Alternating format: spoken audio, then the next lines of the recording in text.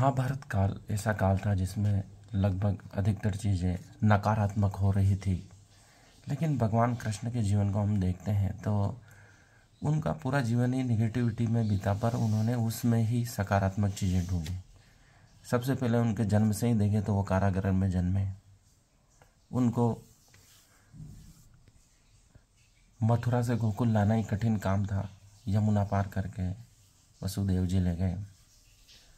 परंतु उन्होंने कभी नहीं कहा कि मेरा जन्म जेल में हुआ है, या मैं कठिन परिस्थितियों में कार्य कर रहा हूँ।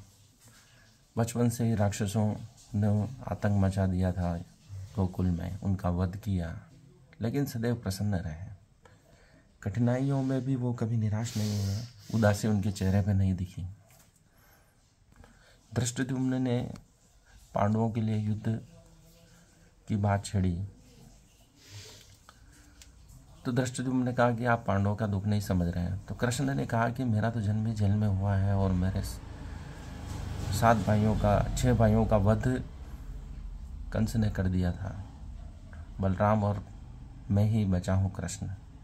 फिर भी जब तक कंस ने हमें नहीं बुलाया युद्ध के लिए तो हम उसे युद्ध के लिए नहीं गए, उसको, उसका वध नहीं किया। उन्होंने उसमें भी सकारात्मक ढूंढी, शांति की बात को महत्ता दी जरासंध को तब तक नहीं मारा जब तक बिल्कुल अंतिम अवसर नहीं आ गया था।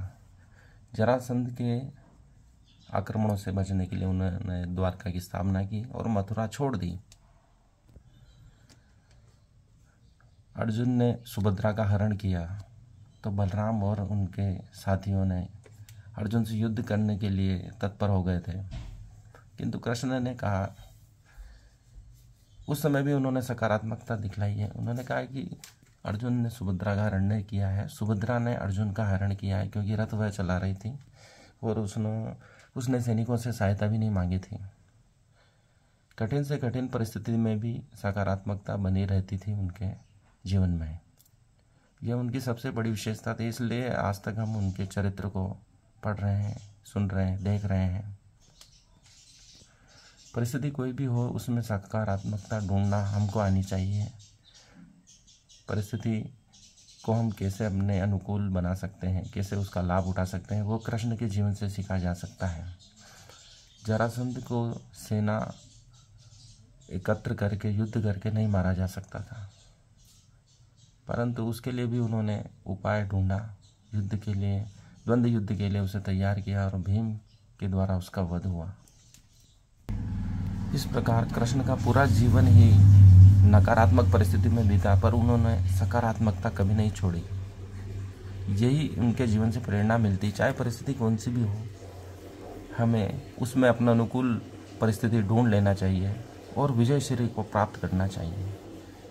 इसलिए कृष्ण पांडवों के जब जब साथ रहे वह विजय हुए, क्योंकि वह पूर्ण सकारात्मक का स्वरूप है, ब्रह्म स्वरूप है। पूरे विश्व का क्रीम है माखन है। उन्हें हर परिस्थिति से बाहर निकलना आता है। ऐसे कृष्ण